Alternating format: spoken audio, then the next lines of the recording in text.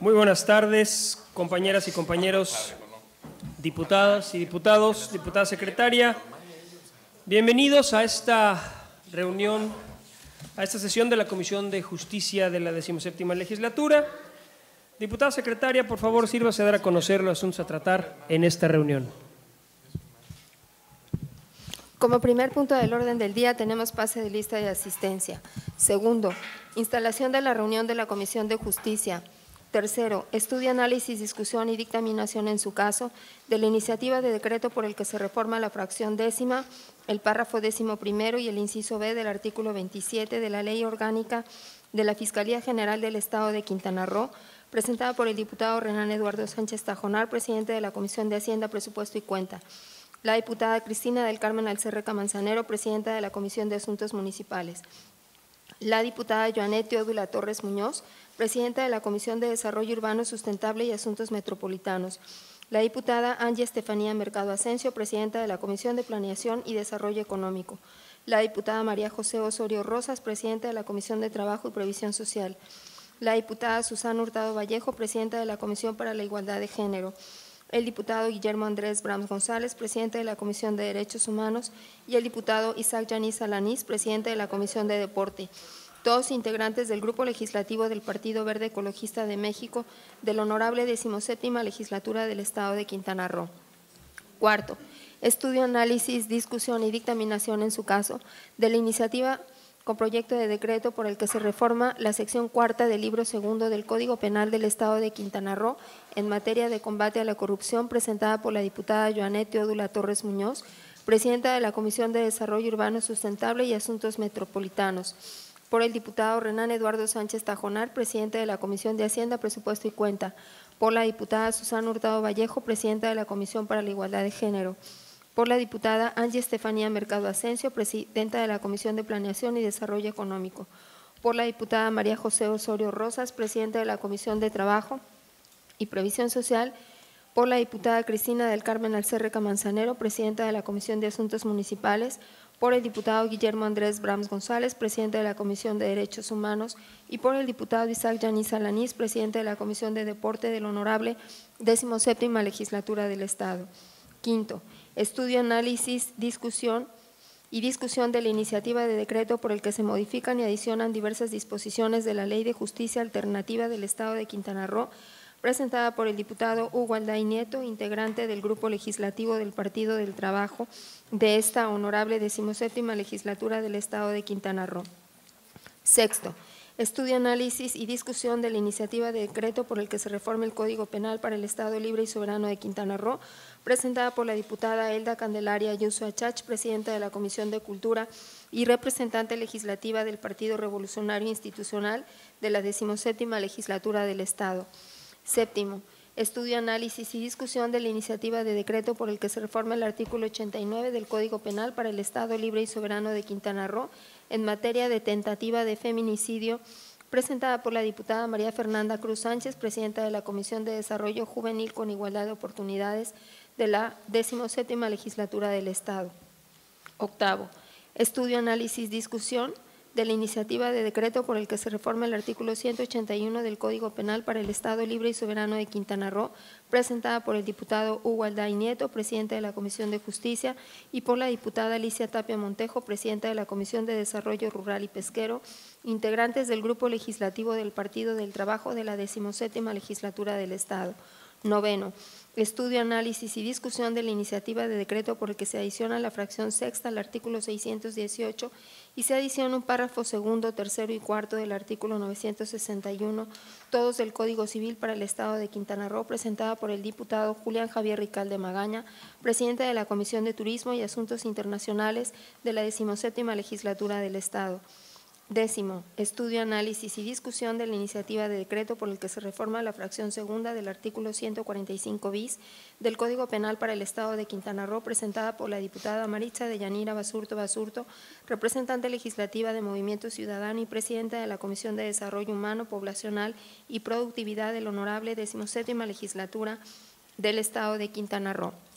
Décimo primero, estudio, análisis y discusión de la iniciativa con proyecto de decreto por el que se deroga la fracción segunda del artículo 682 y se deroga la fracción séptima y octava y el párrafo segundo del artículo 702 del Código Civil para el Estado de Quintana Roo, presentada por el diputado Luis Humberto Aldana Navarro, coordinador del Grupo Legislativo del Partido Morena y presidente de la Comisión de Asuntos Constitucionales por la diputada Mildred Concepción Ávila Vera, presidenta de la Comisión de Seguridad Ciudadana, Protección Civil y Bomberos, y por la diputada Elda María Shishewan, presidenta de la Comisión de Salud y Asistencia Social de la 17 Legislatura del Estado de Quintana Roo. Décimo segundo, estudio, análisis y discusión de la iniciativa de decreto por el que se reforma la fracción segunda del artículo 682.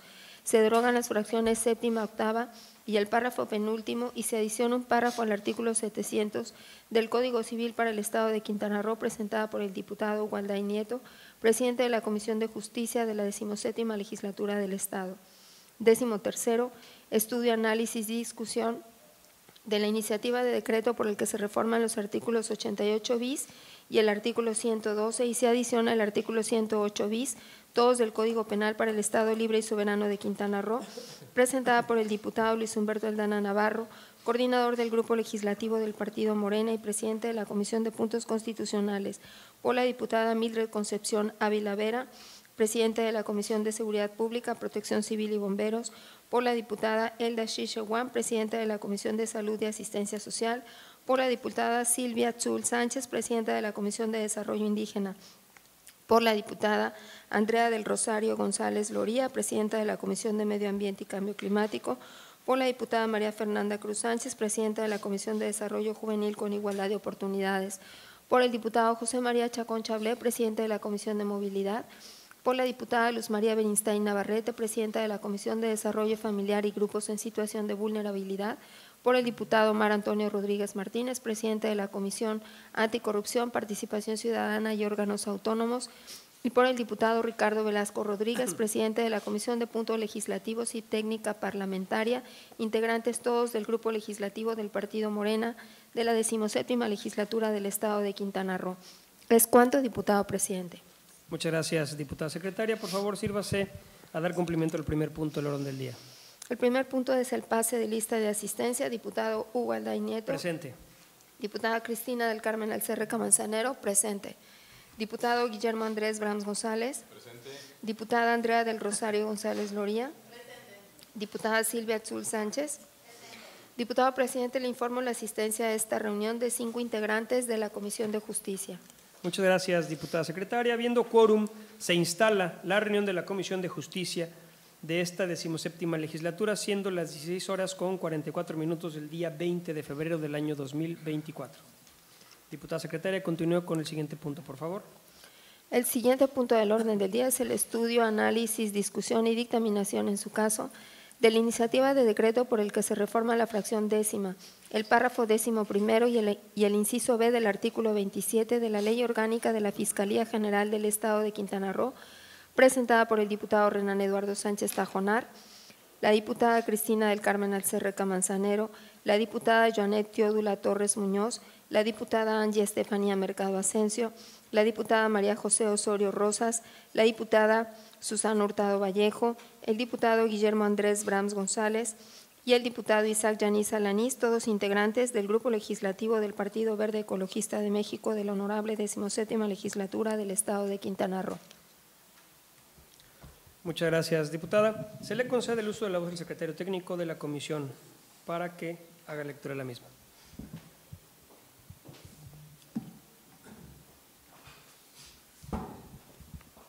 Buenas tardes, diputados.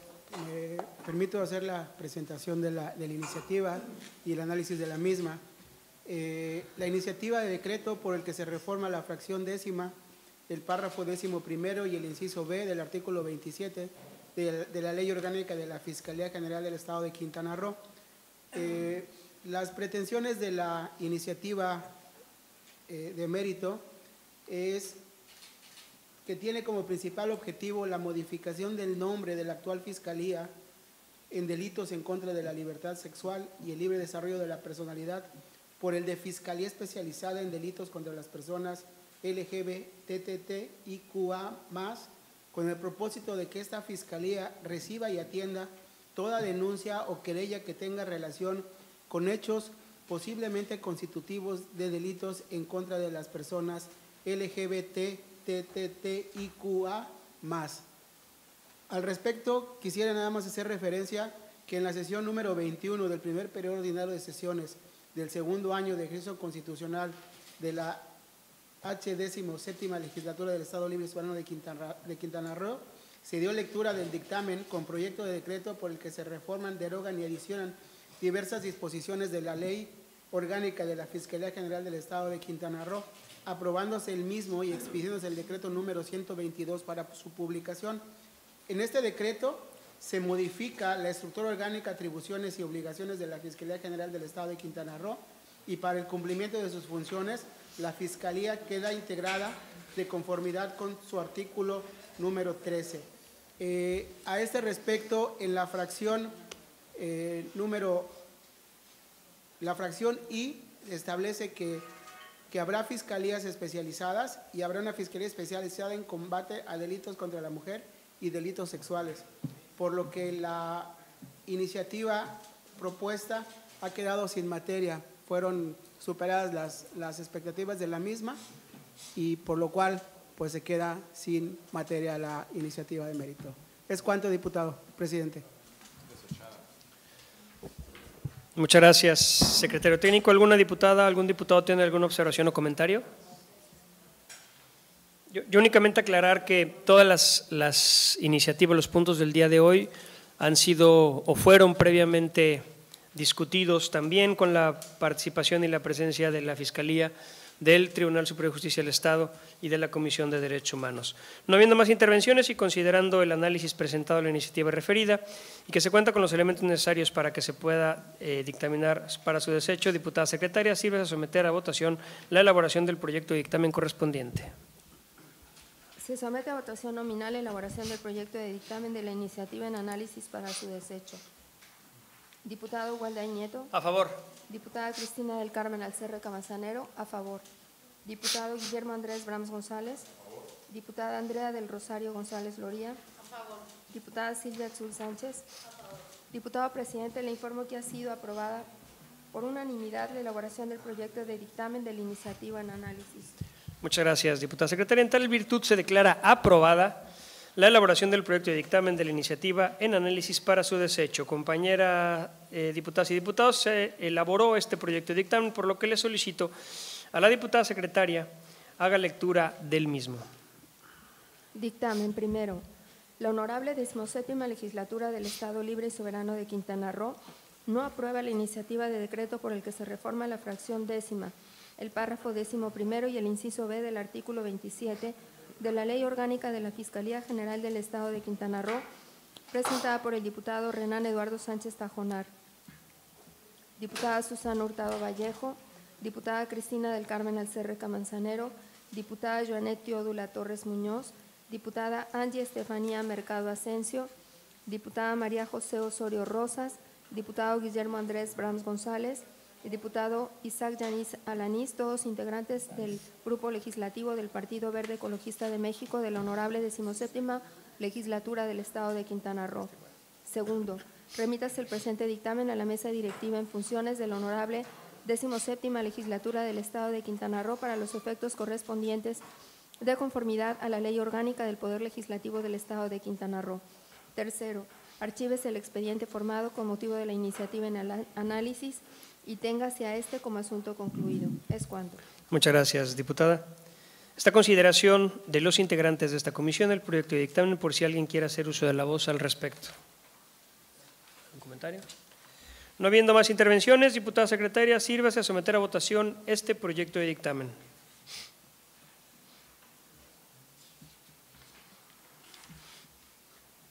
Se somete a votación nominal la elaboración del el proyecto de dictamen. Diputado Ugalday Nieto. A favor. Diputada Cristina del Carmen Alcerreca Manzanero. A favor. Diputado Guillermo Andrés Brams González. Diputada Andrea del Rosario González Loría. Diputada Silvia Azul Sánchez. A favor. Diputado presidente, le informo que ha sido aprobado por unanimidad el proyecto de dictamen presentado. Muchas gracias, diputada. En tal virtud se declara aprobado este proyecto de dictamen, por lo que se procede a su firma y rúbrica. Diputada secretaria, por favor, continúe con el siguiente punto del orden del día. El siguiente punto del orden del día es el estudio, análisis, discusión y dictaminación en su caso de la iniciativa de, de proyecto de decreto por el que se reforma la sección cuarta del libro segundo del Código Penal del Estado de Quintana Roo en materia de combate a la corrupción, presentada por la diputada Joanet Teodula Torres Muñoz, presidenta de la Comisión de Desarrollo Urbano Sustentable y Asuntos Metropolitanos, por el diputado Renan Eduardo Sánchez Tajonar, presidente de la Comisión de Hacienda, Presupuesto y Cuenta, por la diputada Susana Hurtado Vallejo, presidenta de la Comisión para la Igualdad de Género, por la diputada Angie Estefanía Mercado Asensio, presidenta de la Comisión de Planeación y Desarrollo Económico, por la diputada María José Osorio Rosas, presidenta de la Comisión de Trabajo y Previsión Social, por la diputada Cristina del Carmen Alcerreca Manzanero, presidenta de la Comisión de Asuntos Municipales, por el diputado Guillermo Andrés Brams González, presidente de la Comisión de Derechos Humanos, y por el diputado Isaac Yanis Alanís, presidente de la Comisión del Deporte de esta honorable decimoséptima legislatura del Estado. Muchas gracias, diputada. Se le concede nuevamente el uso de la voz al secretario técnico de la comisión.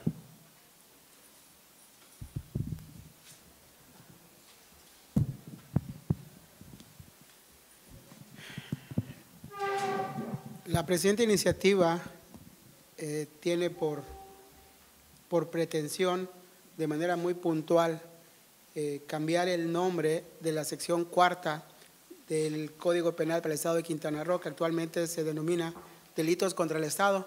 Y la propuesta de la iniciativa eh, es cambiar el nombre por Delitos por Actos de Corrupción. Al respecto, diputado, ya se ha hecho el análisis correspondiente de la iniciativa y se advierte de que todos los delitos que actualmente están contenidos en esta sección cuarta, no todos se refieren a actos que puedan ser posibles eh, o, o derivados de hechos de corrupción, por lo cual se considera que no es pertinente hacer el cambio del nombre a la sección cuarta del Código Penal del Estado y se sugiere que se quede como actualmente está, porque, como ya se ha mencionado, los delitos que en él están contenidos son son en contra del Estado y no solamente están limitados a delitos que sean cometidos por actos de corrupción. Es cuanto, diputado presidente.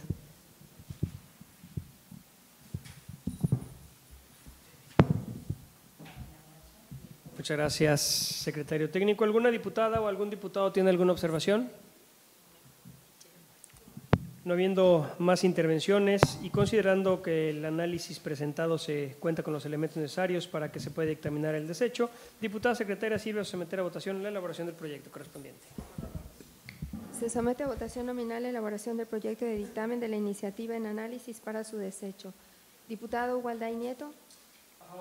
Diputada Cristina del Carmen Alcerreca Manzanero, a favor. Diputado Guillermo Andrés Brams González.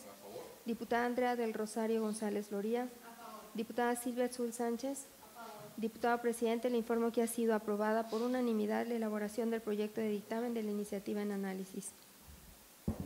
Muchas gracias. Diputada, en tal virtud, se declara aprobada la elaboración del proyecto de dictamen de la iniciativa de análisis para desecho. Compañeras eh, diputadas y diputado, se ha elaborado este proyecto de dictamen, por lo que le solicito a la diputada secretaria haga lectura del mismo. Dictamen primero.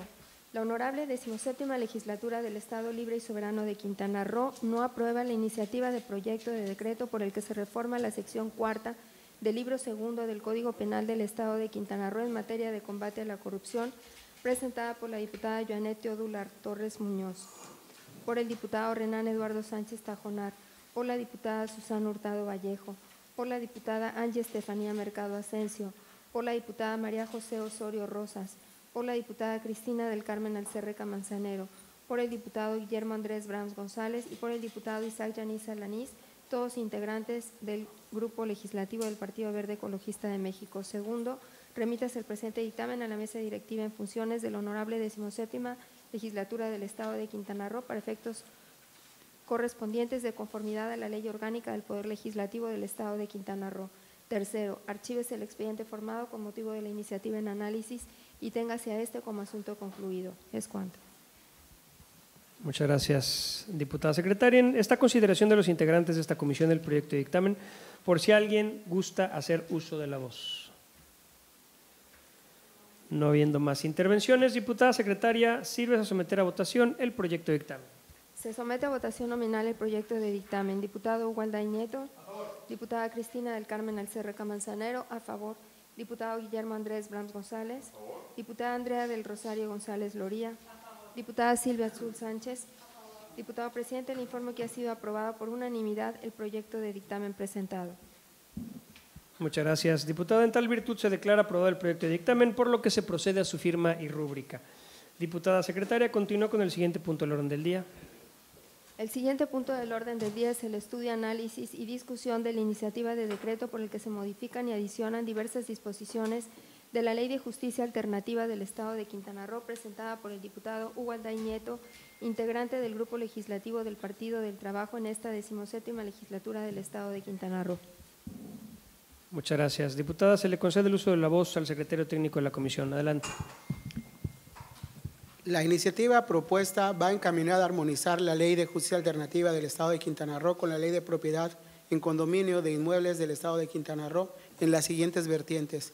Uno, en la actualidad la redacción del artículo 13 de la Ley de Justicia Alternativa del Estado no se contempla la materia condominal entre aquellas que conocerá el Centro de Justicia Alternativa del Estado de Quintana Roo, por lo que se propone adicionar la materia condominal entre aquellas que tiene competencia dicho centro en el ámbito del ejercicio de sus facultades. Y dos, adicionar el título octavo en la Ley de Justicia Alternativa del Estado en lo referente a establecer los procedimientos que conocerá el Centro de Justicia Alternativa del Estado en relación a los artículos 30 en cuanto a la negativa del administrador del condominio de convocar asamblea, 36, fracción décima, inciso F, ante la negativa del administrador de recibir el escrito de los condóminos que hagan observaciones al estado de cuenta de la administración del condominio, artículo 37, controversias del proceso de entrega-recepción de la administración, artículo 64, de las controversias que podrá conocer el centro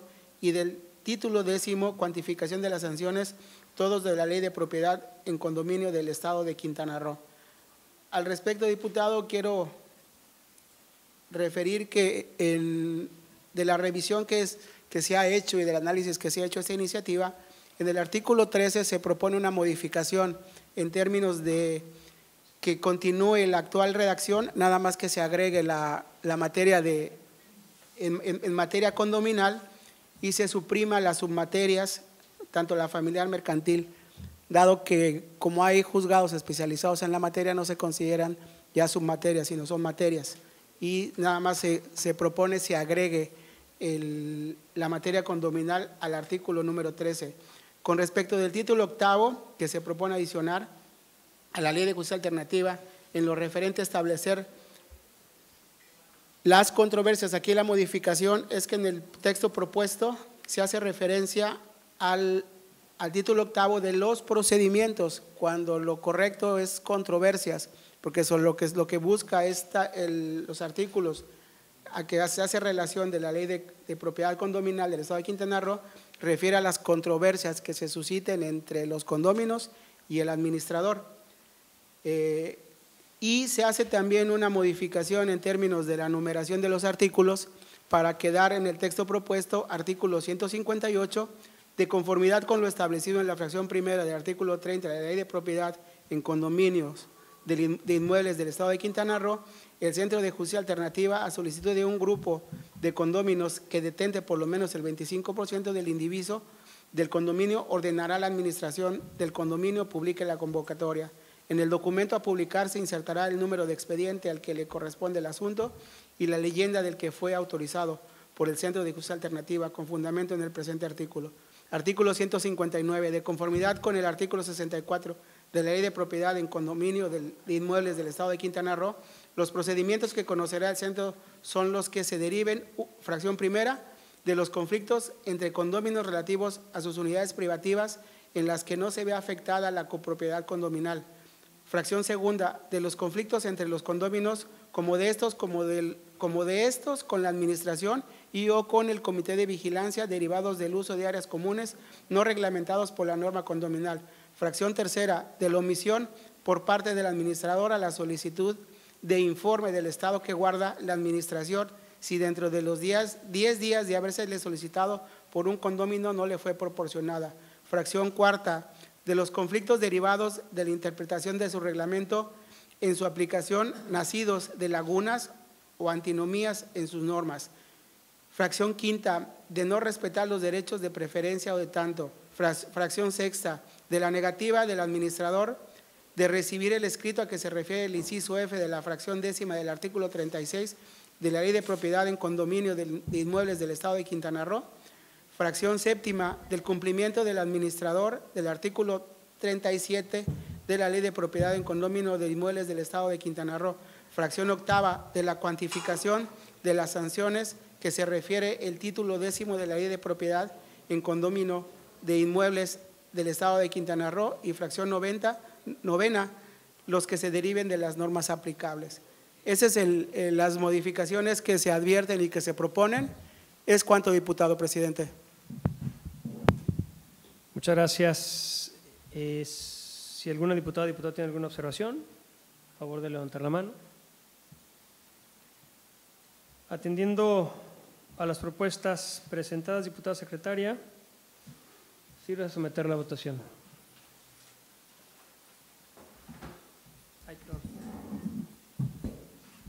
Se somete a votación nominal las propuestas de modificaciones presentadas. Diputado Hugo Alday Nieto. a favor. Diputada Cristina del Carmen Alcerreca Manzanero, a favor. Diputado Guillermo Andrés Brandt González. A favor. Diputada Andrea del Rosario González Loría. A favor. Diputada Silvia Azul Sánchez. Favor. Diputado presidente, le informo que las propuestas de modificación han sido aprobadas por unanimidad.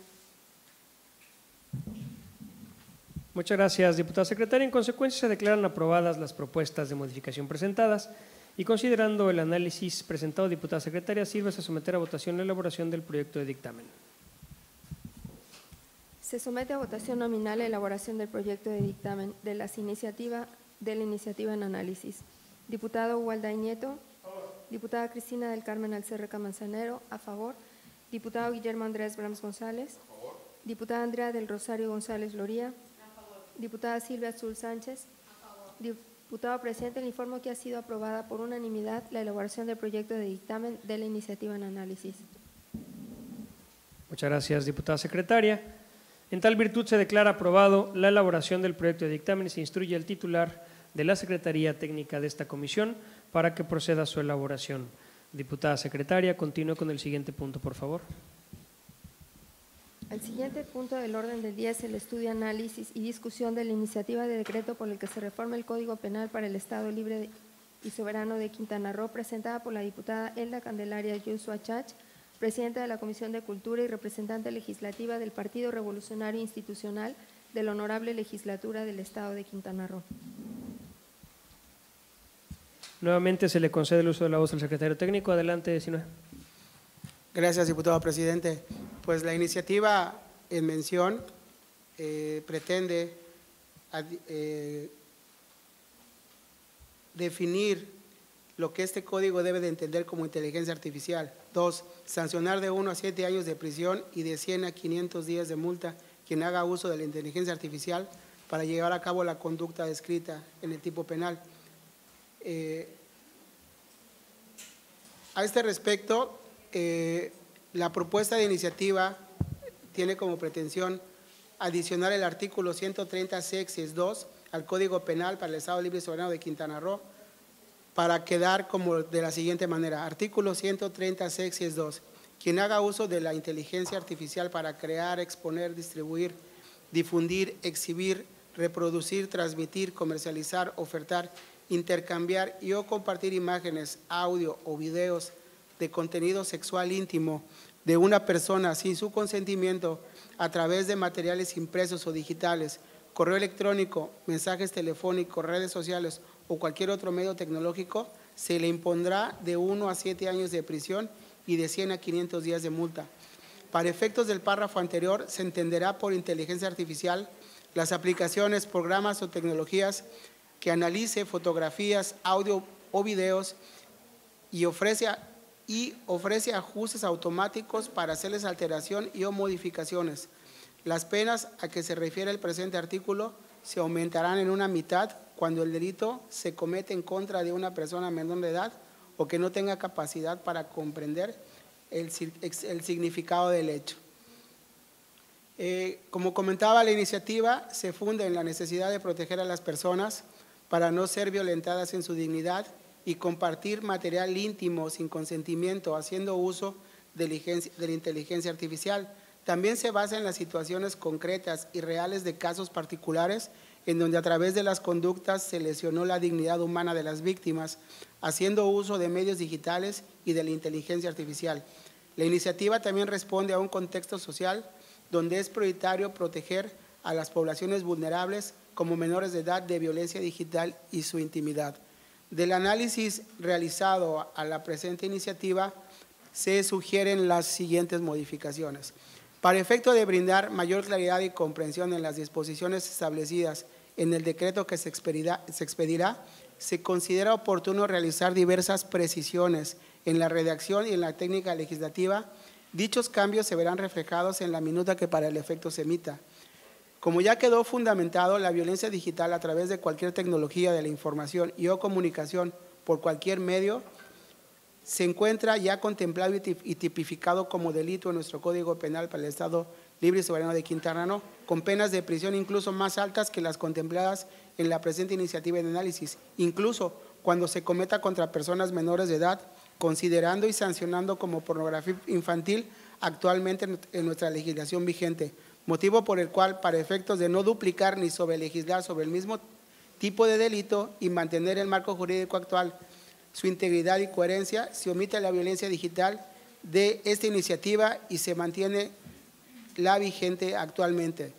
Se modifica la definición y alcance de la inteligencia artificial para armonizarla con la definición internacional de la misma y hacerla más precisa, para efectos de conservar el objetivo específico que nuestro legislador busca de sancionar a aquella persona que haga uso de la inteligencia artificial como medio de comisión de conductas delitivas, incluyendo la violencia digital, y así garantizar la seguridad y protección de los derechos humanos con el adecuado uso de la misma, que maximice los beneficios de esta y disminuya sus potenciales riesgos, se modifica la redacción de la iniciativa que nos ocupa para quedar de la siguiente manera. Artículo 130, es 2.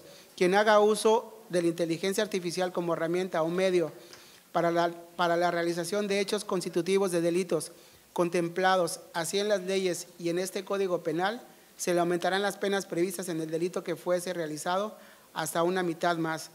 Para efectos del párrafo anterior, se entenderá por inteligencia artificial a la capacidad de los sistemas tecnológicos, informáticos, softwares y aplicaciones de una máquina para simular las capacidades humanas como el razonamiento, el aprendizaje, la creatividad, la capacidad de planear y procesar datos para la realización de tareas específicas y autónomas.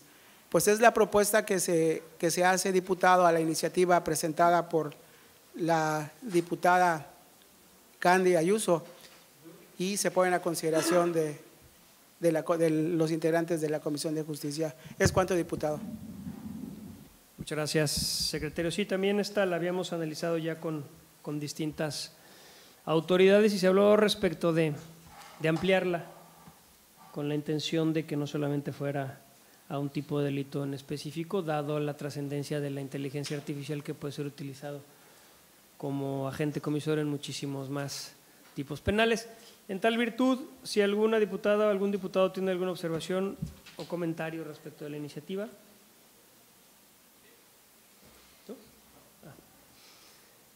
Atendiendo a las propuestas de modificaciones presentadas, diputada secretaria, ¿sirve a someterlas a votación? Se somete a votación nominal las propuestas de modificación presentadas. Diputada Wanda Nieto. Diputada Cristina del Carmen Alcerreca Manzanero, a favor. Diputado Guillermo Andrés Brams González. Diputada Andrea del Rosario González Loría. Diputada Silvia Azul Sánchez. Diputado presidente, le informo que las propuestas de modificación han sido aprobadas por unanimidad. Muchas gracias, diputado. En consecuencia, declaran aprobadas las propuestas de modificaciones presentadas y considerando el análisis, diputada secretaria, sirve a someter a votación la elaboración de un proyecto de dictamen. Se somete a votación nominal la elaboración del proyecto de dictamen de la iniciativa en análisis. Diputado Walday Nieto. A favor. Diputada Cristina del Carmen Alcerreca Manzanero. A favor. Diputado Guillermo Andrés Brams González. A favor. Diputada Andrea del Rosario González Loría. Diputada Silvia Azul Sánchez. Diputado presidente, le informo que ha sido aprobada por unanimidad la elaboración del proyecto de dictamen de la iniciativa en análisis. Muchas gracias. En tal virtud se declara aprobada la elaboración del proyecto de dictamen y se instruye al titular de la Secretaría Técnica de esta Comisión de Justicia para que proceda a su elaboración. Diputada secretaria, continúo con el siguiente punto del orden del día. El siguiente punto del orden del día es el estudio, análisis y discusión de la iniciativa de decreto por el que se reforma el artículo 89 del Código Penal para el Estado Libre y Soberano de Quintana Roo en materia de tentativa de feminicidio presentada por la diputada María Fernanda Cruz Sánchez, presidenta de la Comisión de Desarrollo Juvenil con Igualdad de Oportunidades de la 17 Legislatura del Estado. Muchas gracias, diputada. Se concede el uso de la voz nuevamente al secretario técnico para que dé lectura de los comentarios y observaciones realizados. Sí, presidente, la, la iniciativa de mérito tiene como objetivo reformar el artículo 89 bis eh, para adicionar dos párrafos al final del artículo 89 del Código Penal del Estado. Estos párrafos plantean tipificar la tentativa de feminicidio por razones de género. Tipificar la tentativa de feminicidio en caso de que el sujeto activo no lograra consumar el homicidio por razón de género. Sancionar con pena de prisión de entre la mitad de la mínima a las dos terceras partes de la máxima para la pena del delito. En, en, concreto, los, los, párrafos que se pretenden adicionar al artículo 89 bis son los, son los siguientes.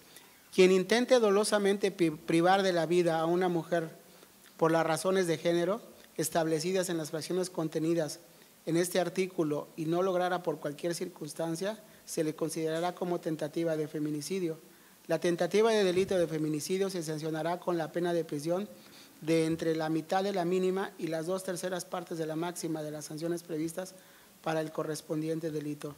Del análisis que ya se ha realizado, como usted bien ha comentado, con diversas dependencias, eh, con la Fiscalía del Estado, con Derechos Humanos y con el Poder Judicial, pues se, ha, se han advertido algunas situaciones que, que quisiera comentar en este, en este punto.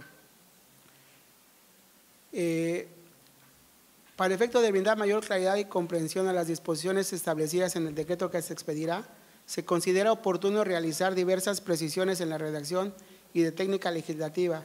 Dichos cambios se verán reflejados en la minuta que para el efecto se emita.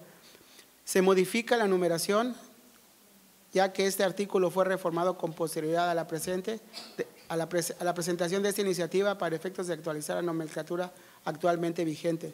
Esta comisión considera que el primer párrafo de la iniciativa propuesta relativo a la definición de lo que se deberá de considerar como tentativa de feminicidio resulta redundante y podría llevar a la confusión legislativa al prever dos tipos penales para el mismo delito, ya que lo que allí planteado se encuentra, se encuentra ya regulado y sancionado por el artículo 15, 15, 15 bis y 58 del Código Penal para el Estado de Quintana Roo. Debemos recordar que la tentativa es una calificación o grado de los delitos y no constituye un delito independiente o autónomo, sino una extensión del tipo, del tipo que hace factible sancionar a la gente por la comisión de un ilícito tentado y no consumado. Es decir, se trata del mismo delito de feminicidio, pero en grado de tentativa punible, por lo que se hará referencia a este considerando que es esta conducta la que se pretende sancionar como una extensión del feminicidio no consumado y se elimina este primer párrafo. Y se modifica la relación del segundo párrafo para una mejor técnica legislativa y congruencia normativa que mejore el alcance y armonice la tentativa punible vigente actualmente en el Código en relación con el delito de feminicidio y hacerla más precisa para quedar como sigue. Eh, se propone nada más adicionar un párrafo último al artículo 89 bis en el sentido de que la tentativa punible relacionada con el delito de feminicidio contemplado en este artículo se sancionará con pena de prisión de entre la mitad de la mínima y las dos terceras partes de la máxima de las sanciones previstas para este delito consumado. ¿Es cuánto, diputado? Muchas gracias, secretario técnico. Si alguna diputada o algún diputado tiene alguna observación o comentario respecto a esta iniciativa que también se analizó en las reuniones de los viernes, a favor de levantar la mano. Atendiendo a las propuestas de modificaciones presentadas, diputada secretaria, sírvase a someterlas a votación. Se somete a votación nominal las propuestas de modificaciones presentadas. Diputado Hugo Alday Nieto. A favor. Diputada Cristina del Carmen Alcerreca Manzanero. A favor. Diputado Guillermo Andrés Brams González. A favor. Diputada Andrea del Rosario González Loría. A favor. Diputada Silvia Azul Sánchez. A favor. Diputado presidente, le informo que las propuestas de modificación han sido aprobadas por unanimidad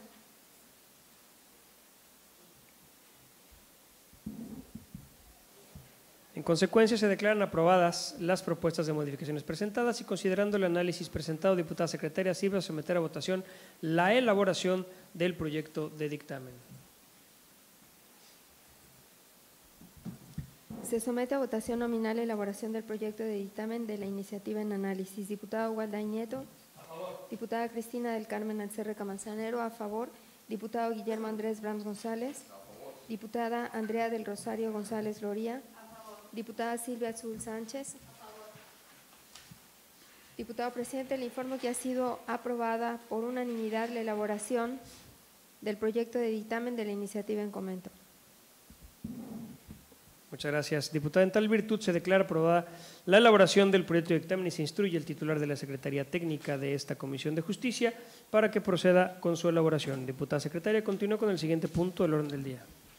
El siguiente punto del orden del día es el estudio, análisis y discusión de la iniciativa de decreto por el que se reforma el artículo 181 del Código Penal para el Estado Libre y Soberano de Quintana Roo, presentada por el diputado Hugo Alday Nieto, presidente de la Comisión de Justicia, y por la diputada Alicia Tapia Montejo, presidenta de la Comisión de Desarrollo Rural y Pesquero, integrantes del Grupo Legislativo del Partido del Trabajo de la decimoséptima legislatura del Estado. Muchas gracias, diputada. Nuevamente se concede el uso de la voz al secretario técnico de la Comisión de Justicia. Adelante, Sinoé. Gracias, diputado presidente.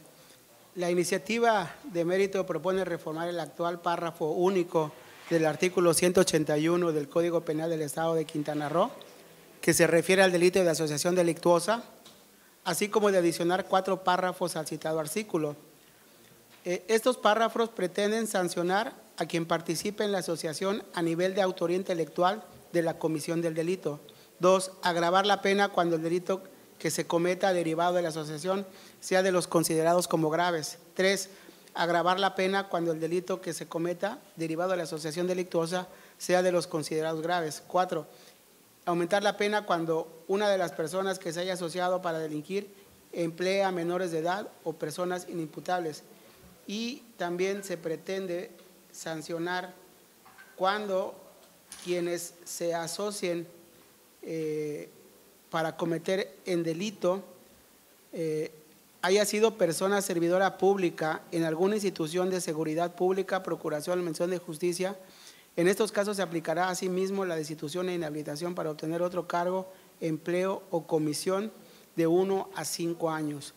Eh, en este sentido, derivado del análisis y revisión que ya se le ha hecho a la presente iniciativa, se sugiere que en la redacción del artículo 81 quede como actualmente se encuentra para una mejor comprensión y aplicación de la, del Código Penal por, por, los administradores de justicia. Ahora, con respecto de las, de las fracciones que se pretenden adicionar, eh, la única observación que se hace es que se elimine la, el párrafo 2 propuesto, eh, que se refiere a cuando la asociación delictuosa incurre en los delitos considerados como graves. En este caso, la sanción podrá aumentarse hasta, hasta una tercera parte. La propuesta de que se elimine es en función de que la redacción es ambigua en términos de que no se especifica que no hay un, no hay un catálogo de delitos graves en, nuestro Código Penal, por lo que resulta eh, ociosa esa, esa, esa fracción. Entonces, el, el artículo 181, su primer párrafo, queda como la actual redacción que tiene.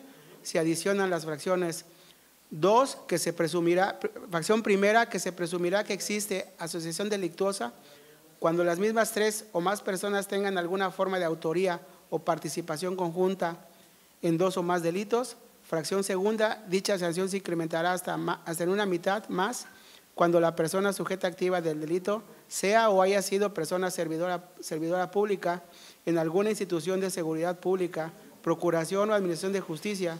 En estos casos se aplicará asimismo la destitución e inhabilitación para obtener otro cargo, empleo comisión de uno a cinco años.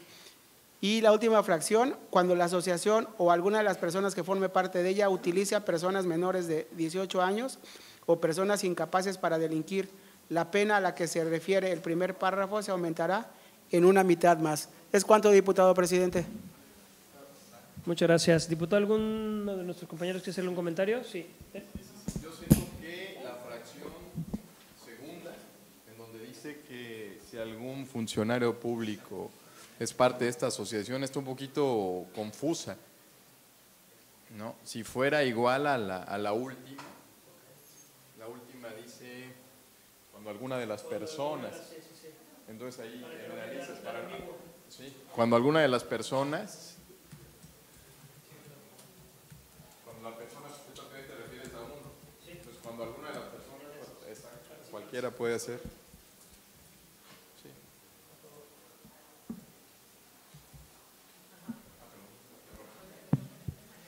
Muchas gracias. ¿Algún comentario más? Sí, sí, sí. Muchas gracias, diputado. Atendiendo las propuestas de modificación presentadas y comentadas ahorita, diputada secretaria, sírvase a someterlas a votación. Sí, sí es correcto.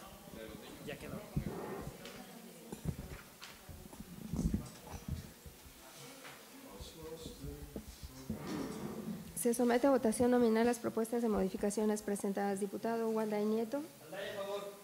Diputada Cristina del Carmen Alcerreca Manzanero, a favor. Diputado Guillermo Andrés Brams González. Diputada Andrea del Rosario González Loría. Diputada Silvia Azul Sánchez. Diputado presidente, le informo que las propuestas de modificación han sido aprobadas por unanimidad. Muchas gracias, diputado. En consecuencia, declaran aprobadas las propuestas de modificaciones presentadas y considerando el análisis, el diputado secretaria sirve a someter a votación la elaboración de un proyecto de dictamen. Se somete a votación nominal la elaboración del proyecto de dictamen de la iniciativa en análisis. Diputado Walday Nieto. Diputada Cristina del Carmen Alcerreca Manzanero, a favor. Diputado Guillermo Andrés Brams González. Diputada Andrea del Rosario González Loría. Diputada Silvia Azul Sánchez. Diputado presidente, le informo que ha sido aprobada por unanimidad la elaboración del proyecto de dictamen de la iniciativa en comento.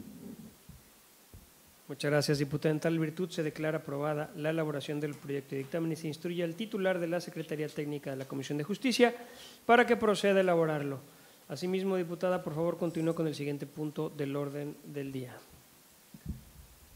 El siguiente punto del orden del día es el estudio, análisis y discusión de la iniciativa de decreto por el que se adiciona la fracción sexta al artículo 618 y se adiciona un párrafo segundo, tercero y cuarto al artículo 961, todos del Código Civil para el Estado de Quintana Roo, presentada por el diputado Julián Javier Ricalde Magaña, presidente de la Comisión de Turismo y Asuntos Internacionales de la 17 Legislatura del Estado de Quintana Roo. Se le concede nuevamente el uso de la voz al secretario técnico de la Comisión de Justicia. Gracias, presidente. Diputado presidente, eh, como bien comenta la, diputada secretaria, pues la presente, la presente iniciativa tiene como propósito adicional la fracción sexta al artículo 618 a efecto de establecer a esta institución como la responsable, en el caso específico del registro civil, a la responsable de la expedición de las actas de nacimiento extemporáneo. Asimismo, propone adicionar el párrafo segundo del artículo 961 para establecer que el registro de nacimiento extemporáneo se declare después de 180 días de ocurrido el nacimiento. También se pretende la adición de un tercer párrafo al propio numeral 961 para establecer que el registro civil será quien a través de un procedimiento administrativo otorgue las actas de nacimiento extemporáneo. Finalmente, la adición de un cuarto párrafo al multicitado numeral 961 la propuesta establece que se podrá instrumentar campañas especiales de registro de actas de nacimiento extemporáneo al menos una vez cada año de referencia, de preferencia en el mes de junio, en las cuales los interesados deberán cumplir con los requisitos que para el caso se establezcan en los programas elaborados para tal efecto. del análisis que se ha hecho y revisión que se ha hecho a la, a la iniciativa de mérito, en primer término, en la fracción sexta que se pretende adicionar, pues nada más se advierte que se hace referencia al juez del registro civil cuando el término correcto es oficial del registro civil, dado que en el registro civil del Estado no hay jueces, sino que hay oficiales del registro civil. Eh, de, igual, de igual manera, pues nada más hacer, hacer la precisión de que el, el cambio en el, en el número de días que deberá ahora considerarse para de 180 días después de ocurrido el nacimiento para que se considere como nacimiento extemporáneo. Eh, ¿Cómo se llama? Eh, este pues se considera idóneo en términos de que pues existe un procedimiento administrativo en el reglamento del registro civil en el cual se establece la forma en que se pueden llevar a cabo los, los nacimientos de manera extemporánea. Y al final, y al final de, la, de la propuesta, pues también se considera oportuno que en lugar de que sea una, una vez al año la campaña, que puedan ser dos veces al año la campaña, pues para garantizar el, el derecho de, los, de las personas a la identidad, que está considerado como una garantía individual. Es cuanto, diputado presidente. Muchas gracias, secretario técnico. Si lo recuerdan, compañeros, en, esta, en este tema la discusión se puso bastante interesante con derechos humanos principalmente por el tema de la posible naturalización de vecinos del sur eh, a través de registros extemporáneos eh, en el registro civil. Por ello se determinó gran parte este, no, no considerarse, sin embargo, bueno, si alguno de los compañeros quiere hacer el uso de la voz al respecto. ¿No? Atendiendo a las propuestas de modificaciones presentadas, diputada secretaria, sírvase someterlas a votación.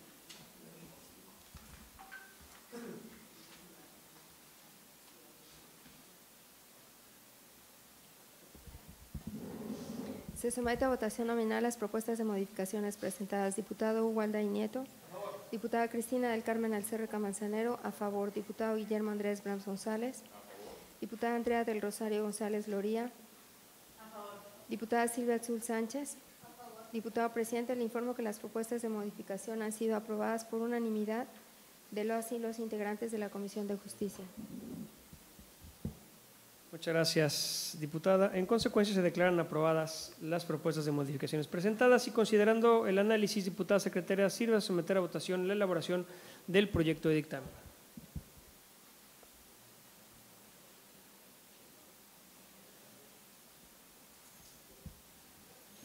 Se somete a votación nominal la elaboración del proyecto de dictamen de la iniciativa en análisis. Diputado Hugo Alday Nieto. A favor.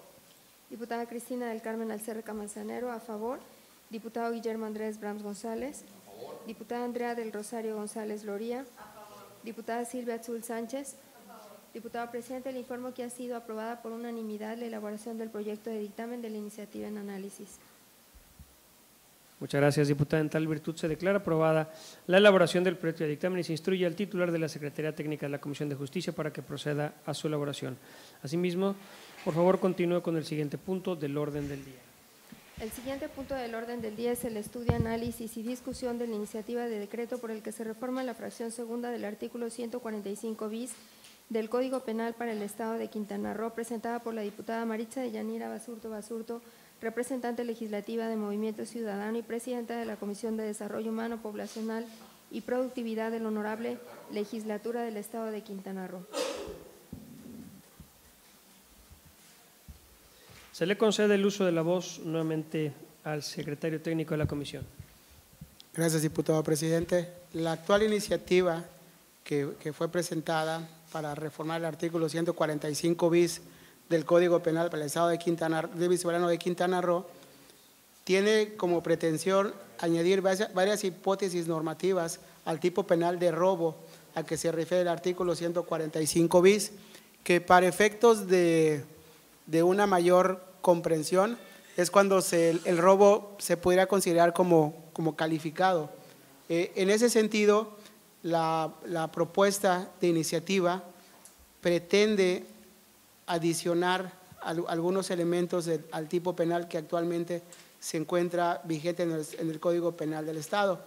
Y en lo específico me, me referiré a la fracción segunda, que establece que aprovechando la consternación de una desgracia, situaciones de emergencia, falta de vigilancia, vulnerabilidad, confusión, incendio, accidente de, tránsito de vehículos, catástrofe natural, contingencia sanitaria, epidemia, invasión, desorden público o cualquier evento extraordinario que perturbe la paz pública. Eh, en ese sentido, una vez que ha sido revisada la iniciativa, pues se considera que los términos que aquí se utilizan como falta de vigilancia, vulnerabilidad y confusión resultan ambiguos, por lo tanto deben de eliminarse de la, de la actual iniciativa y también debe de eliminarse el, el hecho que se refiere a que el robo se realice con motivo de accidente de tránsito de vehículos, en virtud de que el robo pues ya está tipificado dentro del código. Y pues robo, lo voy a decir como es, robo es robo. Y se considera que, que no se debiera de sobre legislar sobre un mismo tipo penal cuando ya está establecido en, en el Código Penal del Estado. Y si se comete, pues si se comete por más de dos, pues estamos hablando de asociación delictuosa y, es un concurso de delitos. Entonces, pues esta es la, propuesta que se, que se hace. Presidente, diputado presidente, ¿es cuánto? Muchas gracias, secretario técnico. ¿Alguna diputada algún diputado tiene alguna observación al respecto? Recordemos que en esta eh, sí existía, a consideración de la Comisión de Derechos Humanos del Estado de Quintana Roo, así como de la propia Fiscalía del Tribunal, cierto exceso en cuanto a la manera en la que se estaba contemplando la rapiña eh, y se estaban duplicando una gran cantidad de elementos del robo como tal, lo que iba a generar confusión al momento de llevar algún proceso ante la autoridad correspondiente. En tal virtud, eh, ¿alguna compañera o compañero tiene alguna observación respecto a la iniciativa? Atendiendo a las propuestas de modificaciones presentadas, diputada secretaria, sírvase someterlo a votación. Se somete a votación nominal las propuestas de modificaciones presentadas. Diputado Walday Nieto. Diputada Cristina del Carmen Alcerreca Manzanero, a favor. Diputado Guillermo Andrés Brams González. Diputada Andrea del Rosario González Loría. Diputada Silvia Azul Sánchez. Diputado presidente, le informo que las propuestas de modificaciones presentadas han sido aprobadas por unanimidad. Muchas gracias, diputada. En consecuencia, se declaran aprobadas las propuestas de modificación presentadas. Considerando el análisis presentado, diputada secretaria, sirve a someter a votación la elaboración del proyecto de dictamen. Se somete a votación nominal la elaboración del proyecto de dictamen de, las ini- de la iniciativa en análisis. Diputado Walday Nieto. Diputada Cristina del Carmen Alcerreca Manzanero, a favor. Diputado Guillermo Andrés Brams González. Diputada Andrea del Rosario González Loría. Diputada Silvia Azul Sánchez. Diputado presidente, le informo que ha sido aprobada por unanimidad la elaboración del proyecto de dictamen de la iniciativa en análisis. Muchas gracias, diputada. En tal virtud se declara aprobada la elaboración del proyecto de dictamen y se instruye al titular de la Secretaría Técnica a elaborar el mismo. Diputada secretaria, por favor, continúe con el siguiente punto del orden del día. El siguiente punto del orden del día es el estudio, análisis y discusión de las iniciativas enlistadas en el punto 11 y 12 del orden del día. Iniciativa con proyecto de decreto por el que se reforma la fracción segunda del artículo 682 y se deroga la fracción séptima y octava y el párrafo segundo del artículo 700, todos del Código Civil para el Estado de Quintana Roo, presentada por el diputado Luis Humberto Aldana Navarro, coordinador del Grupo Legislativo del Partido Morena y presidente de la Comisión de Asuntos de Puntos Constitucionales, por la diputada Mildred Concepción Ávila Vera, presidenta de la Comisión de Seguridad Ciudadana, Protección Civil y Bomberos, y por la diputada Elda María Chichehuán, presidenta de la Comisión de Salud y Asistencia Social de la decimoséptima legislatura del Estado, así como también la iniciativa de decreto por el que se reforma la fracción segunda del artículo 682. Se derogan las fracciones séptima y octava y el párrafo penúltimo y se adiciona un párrafo al artículo 700 del Código Civil para el Estado de Quintana Roo, presentada por el diputado Walday Nieto, presidente de la Comisión de Justicia de la Honorable Decimoséptima Legislatura del Estado de Quintana Roo. Muchas gracias, diputada. En tal virtud, y ya que son dos iniciativas que van en el mismo sentido, se propone realizar de manera conjunta el estudio y análisis con el objeto de que puedan ser dictaminadas en el mismo sentido, por lo que se le concede nuevamente el uso de la voz al secretario técnico. Adelante, señor. Gracias, diputado presidente. Pues a efecto de poder llevar a cabo el análisis, de, el estudio y análisis de esta iniciativa, quisiera empezar haciendo referencia a que las dos iniciativas en esencia pues tienen el, el mismo sentido. Sin embargo, ya en la particularidad hay algunas, algunas diferencias, pero creo que en el espíritu de la iniciativa tenemos, hay, hay concordancia de, de criterios. Y en este sentido quisiera referirme en primer término a la reforma al artículo 682 y en lo específico a la fracción 2, nada más para hacer referencia que el artículo 682 se refiere a los requisitos que actualmente se, piden para que las personas puedan contraer matrimonio. Eh, en, el texto vigente, como está actualmente el Código Civil para el Estado en su fracción segunda, establece como requisito un certificado médico por cada persona contrayente en el que asegure que no padece enfermedad o padecimiento crónico o incurable que además sea contagioso y o hereditario.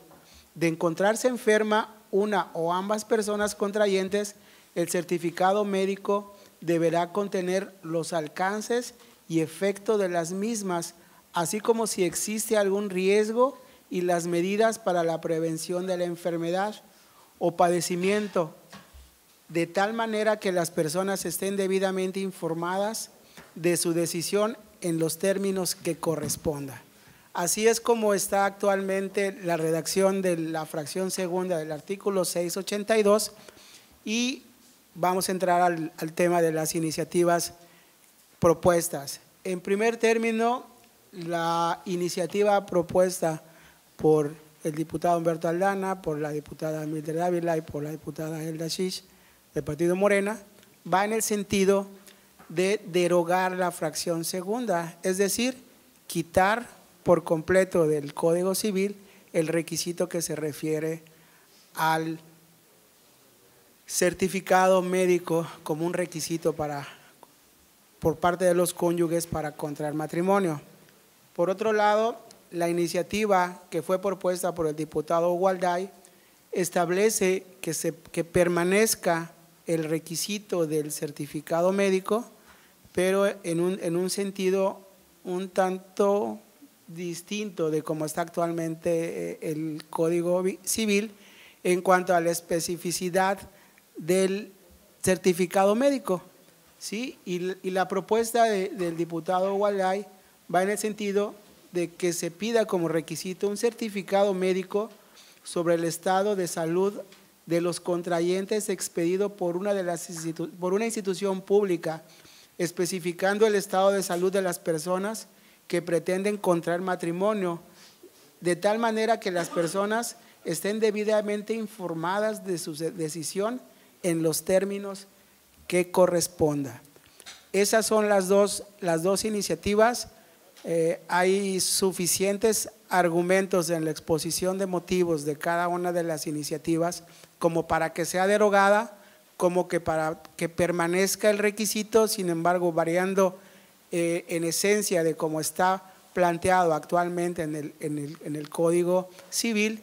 Y yo nada más en este punto quisiera nada más mencionar que la pretensión de que continúe como requisito un certificado médico sobre el estado de salud de los contrayentes, pues no tiene como finalidad el discriminar o el limitar el ejercicio de derechos de las personas que puedan o tengan una, una enfermedad contagiosa que, tengan una enfermedad o padecimiento crónico o incurable y que además sea contagioso y o hereditario, sino que pretende este, este requisito, en términos de lo que propone el, diputado Walday, es que se proporcione información al otro contrayente, no al que está enfermo, sino al otro que, está en términos en una condición de salud distinta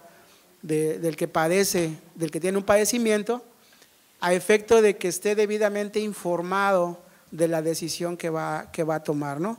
Entonces, en ese sentido, en ese sentido van las dos iniciativas, una buscando eh, garantizar el ejercicio de derechos de, de personas que tengan algún padecimiento o enfermedad crónico incurable y además que es hereditario y contagioso, a, fin de garantizar ese derecho, pues se pretende que se elimine de manera total el, ¿cómo se llama?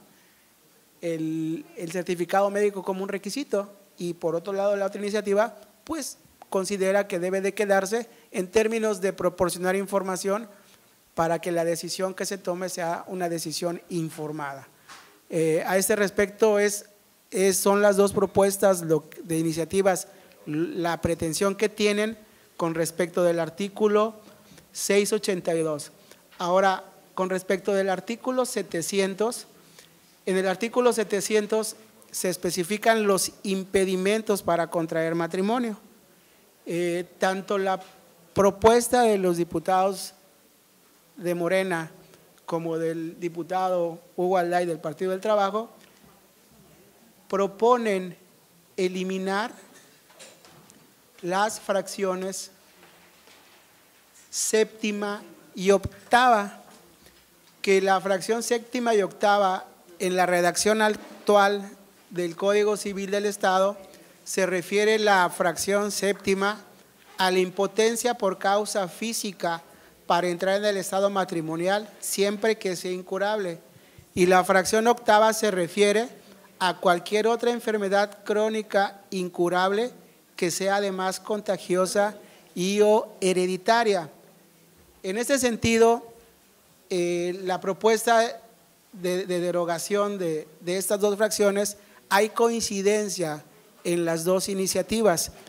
Y el criterio que se, que se expone para hacer la derogación de las mismas es que el matrimonio no solamente tiene o persigue fines de carácter sexual y reproductivo, sino que busca otros, otros fines que no se limiten solamente a cuestiones reproductivas o de índole sexual, por lo que se considera discriminatorio el que exista como impedimento la impotencia pues para aquellas personas que deseen contraer matrimonio. Y con respecto de la de la fracción octava, pues se refiere a pues cualquier enfermedad crónica o incurable que sea además contagiosa y hereditaria, que sea circunscrito de manera, pues yo diría un tanto errónea, a personas que, padecen VIH eh, o SIDA, y pues aquí el espectro de, personas puede ser mucho más amplio, ¿no? Personas que, tienen esclerosis múltiple, personas que, tienen algún otro padecimiento que es crónico y degenerativo, pues el que ellos tengan una condición de salud, eh, ¿cómo se llama? No se considera discriminatorio que se les limite el poder ejercer el derecho que tienen todos los ciudadanos a acceder a las instituciones de matrimonio. Entonces, por eso creemos que, y coincidimos, se coincide con la propuesta hecha por el diputado Humberto Alana, por la diputada Mide Dávila y por la diputada Elda Shish, en el sentido de que se eliminen, de que sean derogadas por completo estas, estas dos fracciones. Hay coincidencia en, esa, en ese punto. Y ahora, pues quisiera yo irme a, a los párrafos adicionales que, se, pretende, que se pretenden derogar. La, la iniciativa del Partido Morena, de los diputados del Partido de Morena, busca derogar el primer párrafo del artículo 700, que en la actual redacción está de la siguiente manera. En el caso que se refiere a la fracción segunda del artículo 682 en relación a las fracciones 7 y 8 de este artículo, el certificado médico será dispensable o tales cuestiones dejarán de ser impedimento cuando conste la manifestación expresa frente a la persona juzgadora por cualquier medio que ambas partes contrayentes tienen conocimiento de las circunstancias enunciadas, así como de sus consecuencias, y que consienten de estas estando informadas para contraer matrimonio para las mismas. Es decir, si ya no hay impedimento para contraer matrimonio, pues resulta un tanto ocioso que continúe como requisito o como limitante el, el, consentimiento expreso de las personas y que también sea dispensado el, certificado, el certificado médico, ¿no? Eh, finalmente creo que ahí hay coincidencia entre las dos, entre las dos iniciativas de que se ha derogado este artículo y, finalmente la propuesta del diputado Hugo Alday como de los diputados de Morena eh, se refiere a que el siguiente párrafo, el segundo párrafo, quede como está actualmente redactado.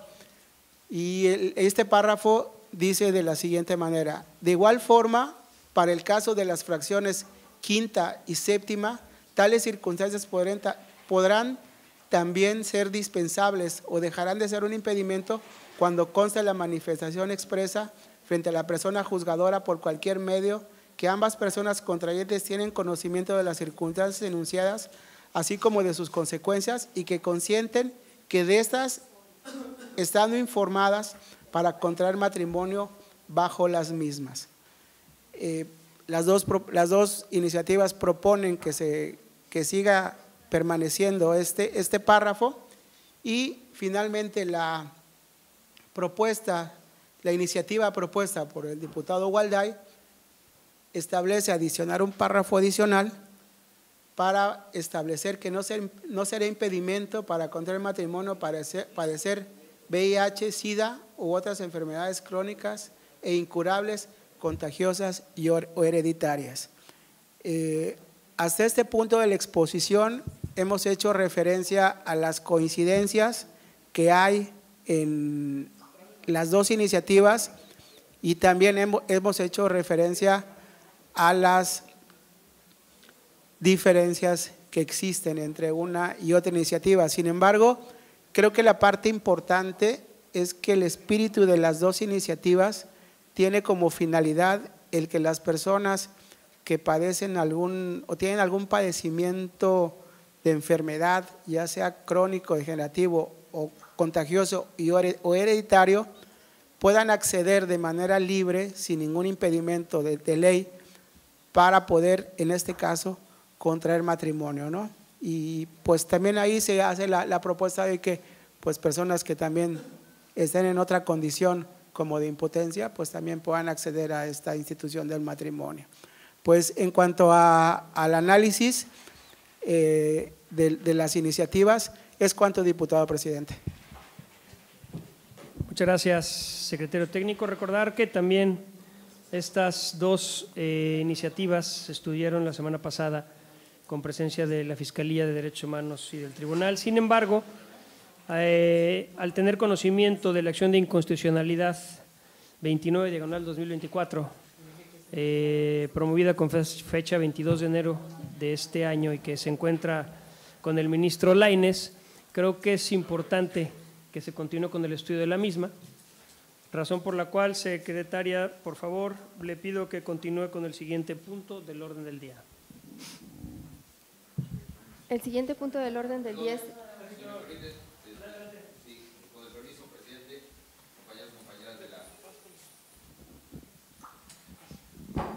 Gracias. Con su permiso, presidente y compañeros y compañeras de la Comisión de Justicia, compañeras diputadas eh, y diputados presentes, eh, quienes eh, promovimos esta modificación en el sentido de derogar la fracción citada del artículo 682, eh, pido que en el análisis subsecuente se tomen en consideración algunos temas importantes vertidos en una acción de inconstitucionalidad emitida o promovida por la Comisión Nacional de Derechos Humanos y que exhibe todos los argumentos para que no exista de ninguna manera una injerencia de ninguna institución en la vida privada de las personas, aunque esto tenga como propósito el tutelar la salud, el bien de la salud pública, en este caso privada de las personas que quieren eh, formar un hogar o que quieren eh, formar una familia en alguno de sus formatos, porque también se citan las consideraciones respectivas a la inclusión de cualquier tipo de familia eh, este, como parte de una, eh, de una institución importante para tutelar por las instituciones mexicanas. Que también en el argumento de nosotros existe lo que cita muy claramente esta, esta acción de inconstitucionalidad, que es el derecho a la privacidad o intimidad mismo que está protegido por, por el artículo 16 primer párrafo de la Constitución Política de los Estados Unidos Mexicanos, es decir, el que una institución, sea cual sea, y persiga los fines que persiga, esté eh, invadiendo la esfera privada de quien padece una enfermedad, eh, sea cualquiera la enfermedad, sea una discapacidad como tal que lo estigmatice, o una enfermedad del tipo del VIH que desgraciadamente es estigmatizadora para mucha gente, pues eh, tenga que ser requisitada como parte de una voluntad de dos personas en contraer matrimonio. Más aún, eh, al día de hoy el contexto de formación de las familias no inicia con la eh, legalización de su unión.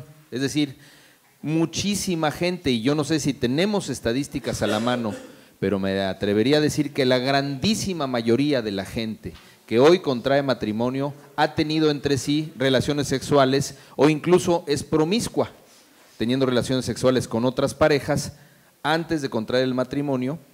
Y de esto debería de estar informada de manera privada la persona que va a contraer matrimonio eh, con alguna persona que pudiera o no tener esta enfermedad. En otras palabras, nosotros consideramos que es del ámbito privado, 100% privado, el que dos personas decidan unirse y hayan tenido suficiente información acerca del estado de salud, de las capacidades mentales, de las capacidades físicas de la persona con la que se quieren unir, eh, ya sea con o sin haber tenido relaciones sexuales anteriormente.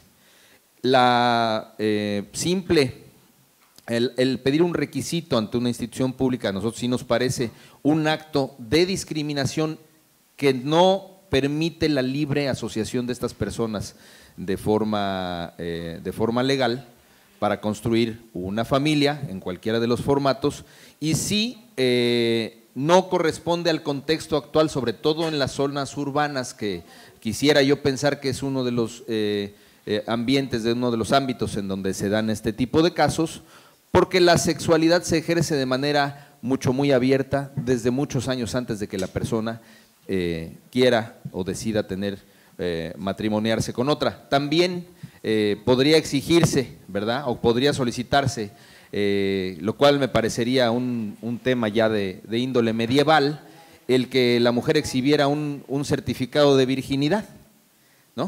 Antes exigía a la mujer de alguna manera ser virgen para contraer matrimonio. A mí me parece que si una persona tiene una enfermedad crónico-degenerativa, de transmisión sexual, etcétera, etcétera, y se le pide un certificado, se está invadiendo esa misma esfera de privacidad que debe de guardar la persona para sí misma y que tendría que haber comunicado a su pareja a la hora de querer contraer matrimonio mucho antes de llegar a un juzgado. Me atrevería incluso a decir que sería suficiente con que en eh, pláticas prenupciales o preparatorias a este acto del matrimonio eh, legal, pues se preguntara a la persona si están informadas o no. Y que la persona, pues bajo protesta de decir verdad, diga si sí o si no ante su propio eh, futuro cónyuge o futura cónyuge. Entonces, yo sí quisiera que se pusieran estas consideraciones como principal argumento para que de ninguna manera se emita ningún tipo eh, se, pida ningún tipo de información por escrita que impida, eh, perdón, que invada la esfera de lo privado de cualquiera de las dos partes para contraer el matrimonio. Por mi parte es cuanto.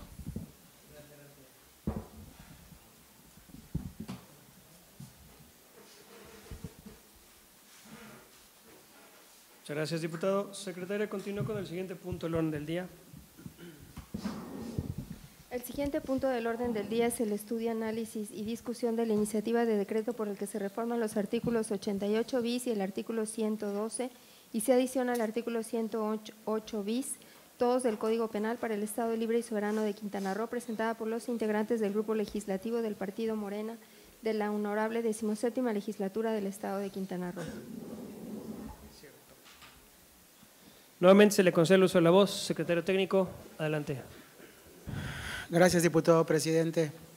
La, la, propuesta de mérito que ha sido presentada por los diputados del grupo parlamentario del Partido Morena tiene como pretensiones, con respecto al artículo 88, aumentar la pena por el delito de homicidio cuando el sujeto activo conduzca un vehículo en estado de alteración de conciencia, es decir, bajo el influjo de, de bebidas alcohólicas, estupefacientes o psicotrópicos que no hayan sido prescritos médicamente. Y dos, cambiar el rango de miligramos de alcohol por cada decilitro de sangre, por lo que establece la Ley General de Salud. Ahora, con respecto del artículo 108, se pretende clasificar como doloso el delito de lesiones u homicidio cuando éste se cometa con motivo de un hecho de tránsito y el sujeto activo esté en, estado de alteración de conducta, ya sea por, eh, ingerir bebidas alcohólicas eh, o drogas, en este caso, ¿no? Eh, dos, establecer rangos de alcohol en la sangre para considerar que el sujeto activo está en, está en un estado de alteración de conducta conforme a lo que establece el artículo 187 bis de la Ley General de Salud.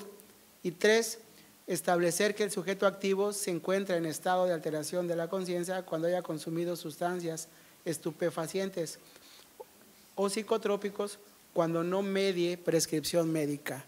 Con respecto al artículo 112, aumento de pena y trabajo a favor de la comunidad en delitos de peligro para la vida y de salud de las personas, es, es decir, cuando no se les preste la asistencia después de que ellos lo requieran. ¿Sí? Aumentar penas cuando el sujeto pasivo sea una persona menor de edad con discapacidad adulta mayor o una persona embarazada. Y tres, especificar que las sanciones que se impongan serán independientes del delito que se cometa y que origine el abandono. En tal sentido, del análisis que se ha hecho a la iniciativa, pues se considera que está dentro de la facultad del legislador poder hacer el aumento de penas con el propósito de disuadir la comisión de delitos por parte de la, de la población, por lo que se considera que es prudente el hacer un aumento de pena. Ahora, el cambiar de rangos de miligramos de alcohol por cada decilitro de sangre, por lo que establece la Ley General de Salud, la Ley General de Salud en el artículo 187 solamente refiere de manera enunciativa a aquellos programas que deberán de implementarse para disminuir el consumo de alcohol. Eh, actualmente no, no establece medidas. La ley general de salud no establece medidas en el 187 bis. No hay medidas, solamente es de manera enunciativa eh, la potestad que tendrán las entidades federativas para llevar a cabo, y la misma Secretaría de Salud, para llevar a cabo programas para, para disuadir el consumo de, de, bebidas alcohólicas. Donde sí se establece, hay una norma, hay una norma nacional hay una norma oficial, perdón, en donde sí se establece eh, los, las cantidades de alcohol por miligramo de, sangre. Entonces, el actual, la actual redacción que, que está en el, código, en el Código Penal del Estado está dentro de los rangos que están establecidos en la norma oficial mexicana para el tema de, de pruebas de, alcohol, de, alcoholemia que se aplican en, en, los famosos alcoholímetros. Por lo tanto, se sugiere que se mantenga la redacción actual del código por estar ajustada a la norma nacional mexicana. Con respecto de clasificar como doloso eh, el delito de lesiones u homicidio, cuando éste se cometa por un hecho de tránsito y, y el sujeto activo está en un estado de alteración de la conciencia por consumir bebidas alcohólicas, sustancias psicotrópicas o, drogas, como, como coloquialmente se, se les conoce a todo este tipo de sustancias, pues ahí hemos hecho un análisis comparativo con distintos códigos penales en, en, toda la República y no encontramos algún elemento que nos pudiera dar la apertura para poder clasificar como doloso al, delito cuando se cometa bajo esas circunstancias. Lo más, lo más apegado o, lo más agravante que nosotros pudimos observar fue haciendo un análisis comparativo con el Código Penal del Estado de Yucatán, que establece como, pena, como culpa grave eh, cuando el delito se cometa bajo esas circunstancias. Entonces se pone a consideración de, los diputados integrantes de la comisión, eh, el poder considerar que se, que se, que se establezca como, como culpa grave cuando el delito se cometa bajo estas, bajo esas, sigue, sigue permaneciendo eh, culposo, pero como culpa, como, culpa, como culpa grave. Y nada más ahí buscar, buscar una redacción, buscar una redacción en donde podamos realmente reflejar el espíritu de la, de la iniciativa que va en el sentido de, pues, eh, de, que no ocurran accidentes y sensibilizar a la, población. Diputado presidente, el, diputado Aldana quiere hacer uso de la, de la voz.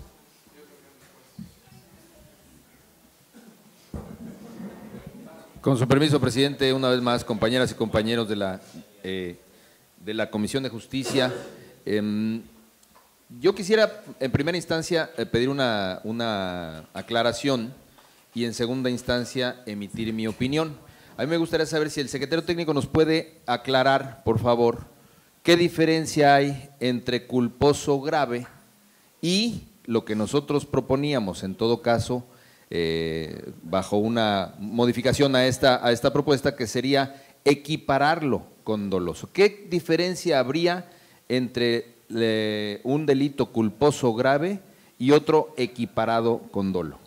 Por favor, y, después daré mi opinión, si me sí, en términos, en términos formales y, prácticos es, tiene que ver con la, con la voluntad de querer, de querer cometer el delito, eh, independientemente del estado de conciencia de la persona, no existe la intencionalidad de, cometer el, dolo, de cometer el, delito con dolo, siempre hay una, hay una culpa eh, por, lo cual esta culpa pues sí se puede considerar como grave para efectos de las sanciones que se, que se, puedan, que se puedan aplicar.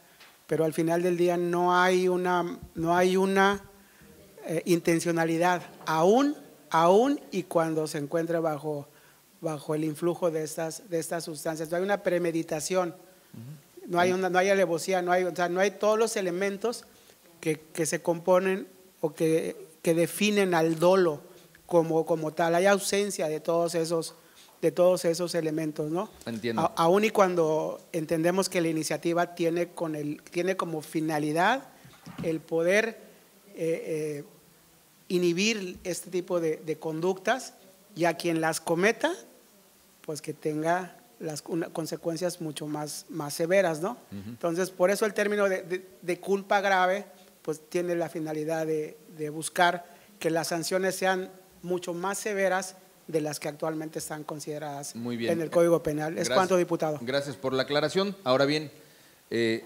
la iniciativa de nosotros va en el sentido de, quien, de que quien lesione gravemente, hablemos de una persona que quede eh, con una discapacidad permanente derivada de un accidente provocado por un borracho o un drogo, dicho con todas sus letras, por un borracho o por un drogo, en un estado cierto de inconsciencia, sean, merezcan una pena corporal.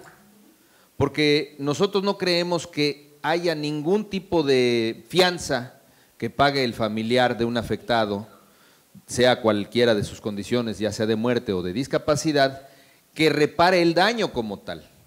Y sin embargo, sí hay tanto una sensación de impunidad hacia la gente que sufre este tipo de consecuencias, hacia familiares y amigos que sufren la pérdida eh, de la vida o de la capacidad eh, total plena de la persona, una suerte de sensación de impunidad, una eh, falta de reparación del daño que nunca va a ser plena, porque nunca va a existir una reparación del daño plena, y una, digamos, una libertad de que en la conciencia del afectado, eh, del perdón de quien provoca este accidente, eh, eh, esté el reparar sus conductas, el volver o no a conducir en un estado alterado, etcétera, etcétera. Su conciencia lo dirá. Pero aquí no estamos hablando de la moral, porque eso pues cada quien lo atiende en lo personal, estamos hablando de lo jurídico. Entonces, si es suficiente el hecho de que nosotros podamos atender a lo establecido en, este, en el Código Penal de Yucatán, en el sentido de eh, convertir en una culposidad grave para que implique una pena corporal, por mínima que sea, porque la mínima creo que serían cinco años, seis años, ¿no? Corríjame si estoy mal, para que no pueda quedar eh, en libertad una persona. Entonces nosotros creemos que se estaría realmente atendiendo a esto desde el ángulo correcto. Porque si no, entonces estaríamos dándole la razón a lo que hasta el día de hoy se considera que es jurídicamente correcto o eh, eh, justificable, que es la intención sola de matar. Aquí la intención de beber, sabiéndose conductor de un, vehículo, como por una parte lo ha, eh, lo ha propuesto el diputado Brahms con una, con una, con una iniciativa, para nosotros debe de ser mucho más, eh, llevada mucho más adelante, que es si de la comisión de ese acto voluntario de beber y manejar, de beber y conducir un auto, se deriva una muerte o una discapacidad permanente hacia una persona, un daño eh, ciertamente irreparable para cualquiera de las partes afectadas en ese sentido. Eh, y termino con esto. Creo que este tipo de elementos vanguardistas en cuanto al derecho, Tal vez en el pasado y cuando la propia, el propio espíritu eh, de la creación de leyes y, del derecho no tenía contemplado que una persona pudiera embrutecerse a un grado de conducir un auto que no existía, ¿no? en el momento en que se, estos principios se establecieron, a la velocidad o de la manera que pudiera poner en riesgo a una persona. Yo creo que en el tiempo en que este tipo de, asuntos fueron tratados de esta manera, pues la persona probablemente iba a caballo y a lo mejor con un caballo no se podría, o a pie, o con una carreta, no se podría cometer el mismo tipo de delito que ahora se comete todos los días por gente irresponsable en las carreteras de Quintana Roo, en las carreteras del país, en las calles, en todos lados vemos que se cometen este tipo de actos de irresponsabilidad de altos de alta gravedad y que no están siendo atendidos por ninguna de las leyes de la manera como debieran ser atendidos, para que entonces sí exista un efecto de inhibición hacia este tipo de conductas. Cuando la persona se sepa que después de haber cometido un accidente de este tipo, despierte de su borrachera o le baje la droga, esté en la cárcel o esté detenido en algún sitio, en algún centro hospitalario, tenga la certeza de que va a pisar una cárcel y de que en esa cárcel va a tener oportunidad de evaluar eh, la gravedad que eh, implica el consumo de bebidas alcohólicas o de drogas para conducir un vehículo. Entonces, en ese sentido va nuestra propuesta, ojalá que se atienda desde ese ángulo también y con la certeza de que a lo mejor esto sienta otro tipo de precedente, eh, de más energía, con más vanguardismo hacia este contexto que en el particular en nuestro estado es muy grave y lo vemos todos los días. Por mi parte es cuanto. A ver, yo, con su permiso, señor presidente, yo primero que nada quiero celebrar lo, que ha hecho esta decimoséptima legislatura por proteger la vida y la integridad de las personas. Y yo, yo, yo ahí no coincidiría con lo que dice el secretario técnico y sí con lo que dice el diputado Aldana, puesto que la voluntad eh, se rompe al momento de ingerir alcohol o drogas y manejar puesto que esto está sancionado en el Código Penal como una prohibición con la, con la reforma que promovimos a un artículo ya existente, al 186, que, prohíbe la conducción bajo los efectos del alcohol y, de los estupefacientes, ¿no? Así que yo, yo sí lo vería como, como un delito totalmente doloso, puesto que no se puede manejar bajo los efectos del alcohol o de los estupefacientes. Para mí sí es un delito doloso, no una culpa grave, porque está establecido que no se puede realizar esa conducta y sin embargo la realizas, tienes la voluntad de realizarla. ¿no? Es cuanto. Muchas gracias. Y también tenemos la posibilidad, si la, intencionalidad es generar la pena corporal, como se mencionaba hace un momento, estamos trabajando en, eh, precisamente en, en, el delito, bueno, el catálogo de los delitos graves, que ahí es donde, para no enumerar una cantidad de delitos que con el paso del tiempo vaya a quedar desfasado, la propuesta que se hizo también por parte de la Fiscalía General de Justicia del Estado es la de establecer un estudio de las penas de todos los delitos que tenemos en Quintana Roo para sacar una medida aritmética para determinar a partir de qué número de años pudiera ser considerado como un delito grave. Y en tal virtud, dependiendo de lo que, de lo que se analice en la siguiente reunión, pues seguramente ya tendremos la, posibilidad de las dos opciones, ¿no? O que se vote por, por eh, señalarlo como doloso o que se vote por tenerlo con las penas para que sea grave y obviamente pues no tenga ningún beneficio el sujeto activo del mismo. De las dos maneras sería pena corporal sin ninguna, sin ninguna posibilidad. En ese sentido, sí, adelante, diputada, perdón. Bueno, la verdad es que buenas tardes a todas y a todos. Eh, apoyo lo que plantea, obviamente formo parte de esta iniciativa, el diputado Luis Humberto Aldana, al igual de los comentarios que acaba de hacer el diputado Brahms. De verdad que a veces, por lo que aquí discutimos, revisamos, analizamos y damos nuestros puntos de vista, cuando viene soportado de lo que sucede en el día a día, de verdad es increíble. En 2020, creo, era diputada federal y una persona de Cancún, psicóloga, de 30 años, con dos niños, se le ponchó la llanta, se bajó a cambiarla, bien estacionada en un lado, en lo que se bajó para bajar los, los, los fantasmas, un tipo alcoholizado, se estampó, perdió las dos piernas y de verdad que es doloroso y eso es lo que siempre debemos de tener en, nosotros, en esa sensibilidad. Es realmente doloroso, impotente, que además se encuentren a la persona que iba ahogada en alcohol y que está en la calle como si no hubiera pasado nada. Y me decía el abogado, es que en este nuevo sistema este, penal acusatorio pues está la reparación del daño. Y mi pregunta es, ¿cómo, ¿de cuánto pudiese ser o si tendría costo que alcance realmente reparar el daño de perder las dos piernas y de tener unas condiciones que no buscó la persona, pero que circunstancialmente, por la irresponsabilidad de un tipo, pues vive en ese sentido desde ver el tema de su pensión por su edad, del tema de sus hijas, de sus hijos. Es un calvario realmente.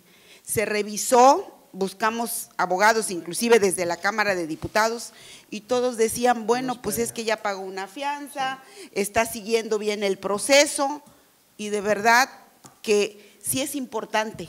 Esto no va para todos, quienes no están en esas condiciones, pero tienen que haber sanciones ejemplares para quienes violentan la ley, para quienes ponen en riesgo la vida de las personas.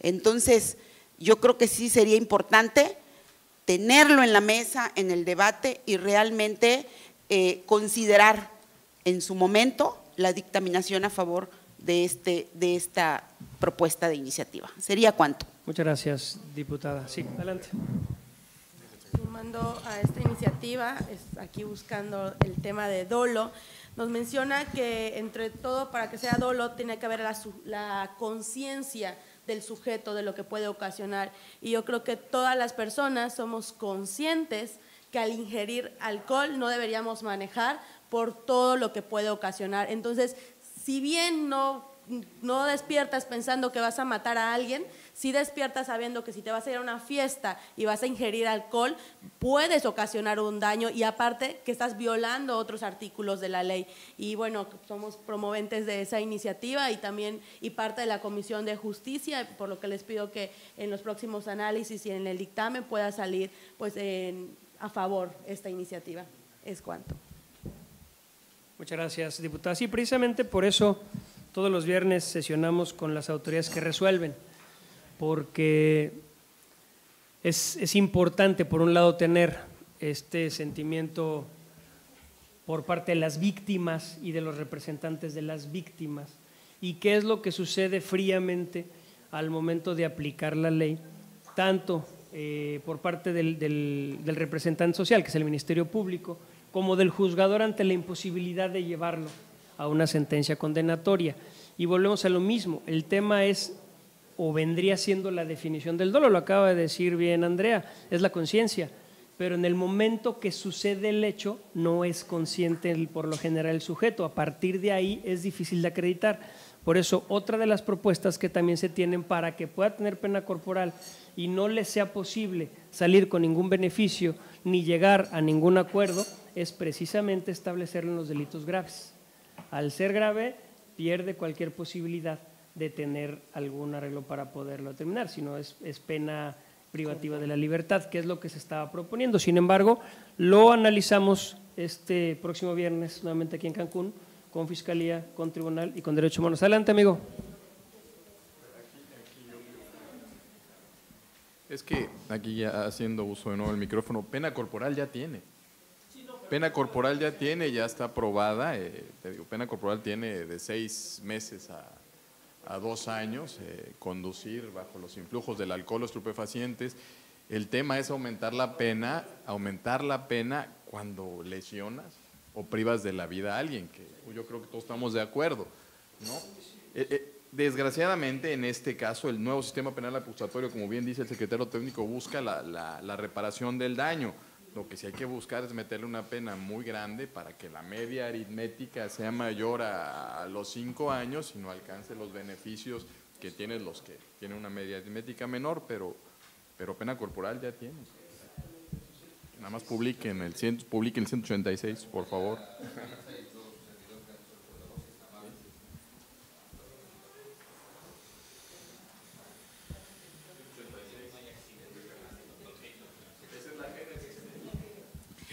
Gracias, ah, diputado presidente, presidente también.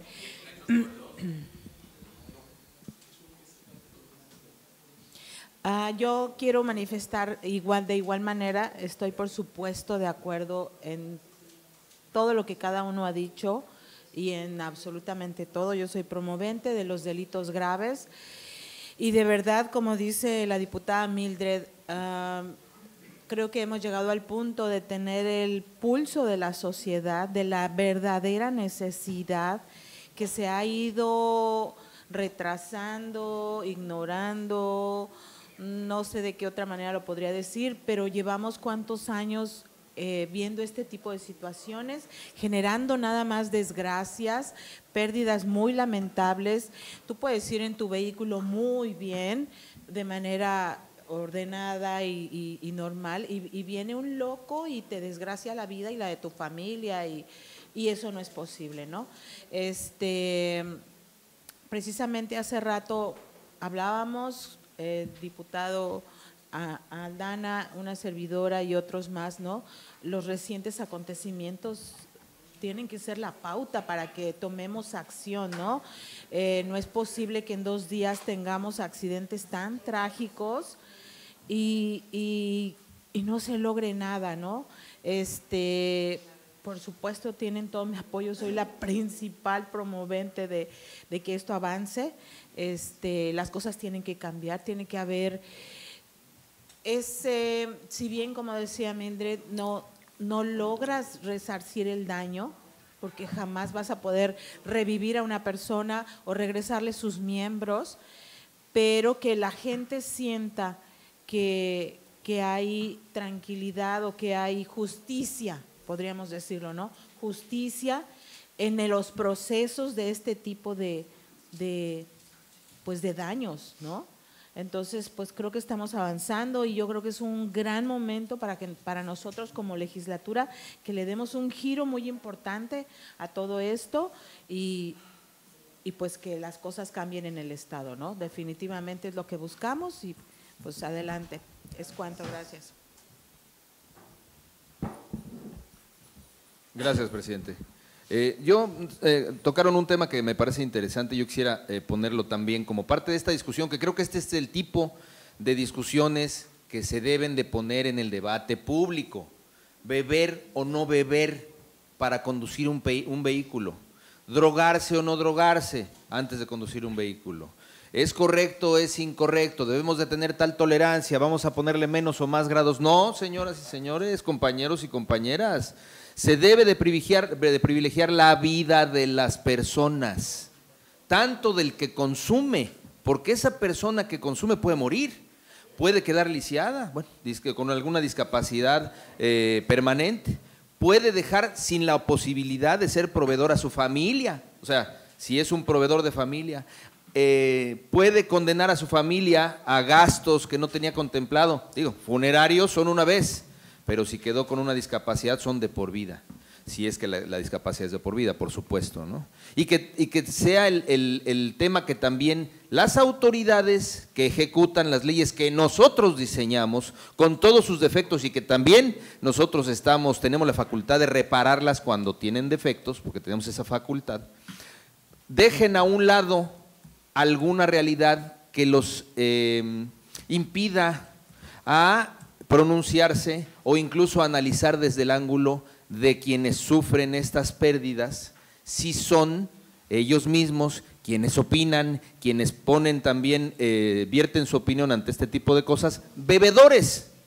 Porque yo estoy seguro que muchas de las autoridades, muchas de las personas que se, que se oponen a que este tipo de penas crezcan, a que se pare de una buena vez este tipo de actividades eh, irresponsables, eh, beben en sus casas, beben cuando conducen y a lo mejor, y no señalo a nadie en particular, pero estoy seguro que hay quienes desde el Poder Judicial, desde la Fiscalía, que dicho lo digo con todo respeto porque creo que están eh, haciendo un buen trabajo hoy como instituciones, beben y pueden cometer un acto de este tipo e incluso apostar a su calidad de autoridades para salir impunes del hecho. Entonces, les invito, les insto a todos y a todas quienes estamos en este análisis a que dejen a un lado el hecho de que beban o no beban para justificar o tratar de minimizar, porque sí, debe de, obviamente, en el inconsciente existir una justificación para no ir al fondo de algo que me puede afectar a mí como autoridad en un momento determinado. No,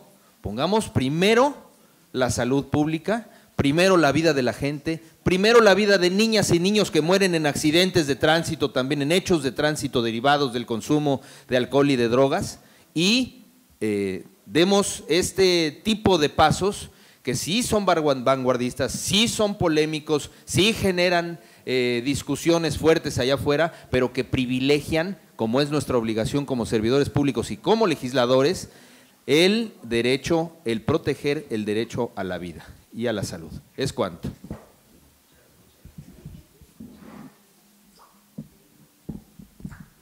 ¿Algún comentario más?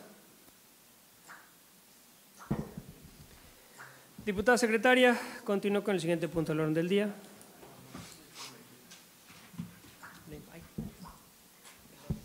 Le informo, diputado presidente, que todos los asuntos a tratar en esta reunión han sido agotados. En tal virtud, se clausura la presente reunión siendo las 18 horas con 25 minutos del día 20 de febrero del año 2024. Muchas gracias a todas y a todos por su asistencia.